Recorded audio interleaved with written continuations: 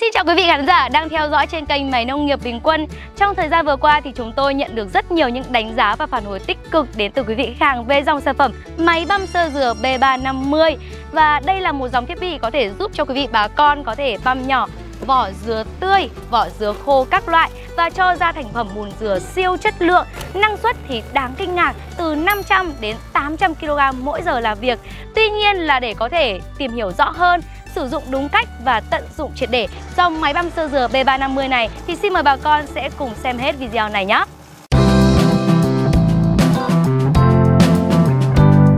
Máy thì sử dụng động cơ 7,5 kW, chạy điện 3 pha 380V cho năng suất vượt trội và thành phẩm thì siêu chất lượng. Bây giờ thì xin mời quý vị bà con sẽ cùng băm thử với chiếc máy băm sơ dừa B350 của Bình Quân Group nhé. Trước khi vận hành được máy thì bà con cần phải kết nối với nguồn điện 380V.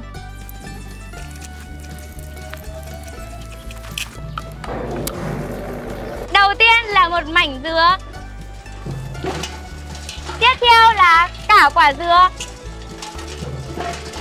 Ôi, máy băm rất nhanh mà lại băm rất là đơn giản luôn. Bây giờ thì xin mời bà con sẽ cùng thử đổ cục cả chậu dừa xem nào có băm được không nhá.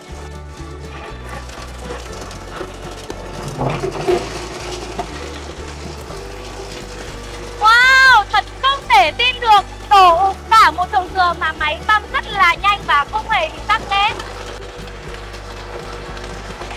Đây, thành phẩm dừa thì siêu chất lượng luôn. Rất là nhỏ, rất là tươi Kích thước và tỷ lệ rất là đồng đều nhau. Ta con có thể tận dụng và tái chế được luôn với buồng làm việc có hệ thống 6 dao chữ E dày dặn, sắc bén được gắn cố định trên một trục quay chính, có nhiệm vụ là băm và xay nhỏ nguyên liệu trong thời gian ngắn, kết hợp với một mặt sàng có nhiều kích cỡ mặt sàng khác nhau, cho bạn có thể dễ dàng lựa chọn và cho ra thành phẩm có kích thước ưng ý. Có các loại mặt sàng 10, 14 và 20 ly và mặt sàng này được gắn ngay ở phía dưới buồng băm, giúp sàng lọc chỉ cho phép các mẩu vụn có kích thước nhỏ tương ứng đi qua và cho ra thành phẩm có kích thước đồng đều. Thiết kế phần toan nạp lớn, dạng phễu thẳng đứng và hướng dốc thẳng xuống buồng băm nên bạn có thể dễ dàng thải nhiều nguyên liệu hơn cùng một lúc và hạn chế tối đa tình trạng nguyên liệu bị bắn ngược trở lại ra bên ngoài. Cửa xả thì được thiết kế vuông thẳng, hạn chế tình trạng tắc nghẽn ở trong máy và giúp cho quý vị có thể đó là thu gom thành phẩm một cách dễ dàng. Quý vị và quân lưu ý là khi sử dụng máy kết thúc quá trình băm thì nên để chạy không tải khoảng 20 giây để cho thành phẩm có thể xả hết từ bên trong ra bên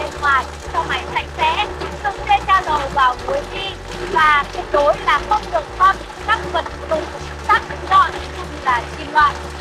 Quý vị bà con thân mến, từ những vỏ dừa thải loại tưởng chừng như là rác, bốc mùi hôi thối như thế này nhưng mà qua con máy băm sơ dừa B350 của Bình Quân thì đã trở thành vàng sinh học. Và nếu như quý vị quan tâm đến dòng sản phẩm này, hãy gọi điện ngay từ số hotline của chúng tôi đang được hiển thị trên màn hình để nhận tư vấn báo giá cụ thể cũng như là đặt mua sản phẩm bà con nhé.